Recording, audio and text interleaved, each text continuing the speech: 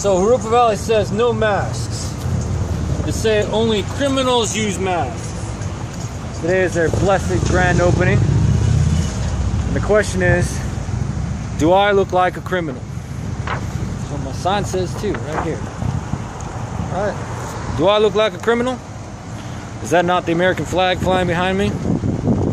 Should it matter what mask? What if I have a religious preference? Are they going to tell me what I can and can't do then too? Is this America or not? Whether I look like this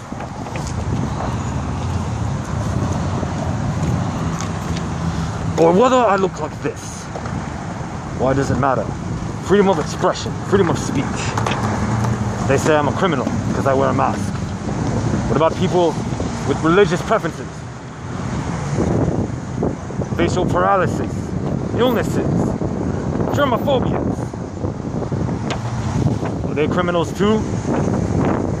Should we not allow to become as we are? Should we not be able to speak freely? Is this not America?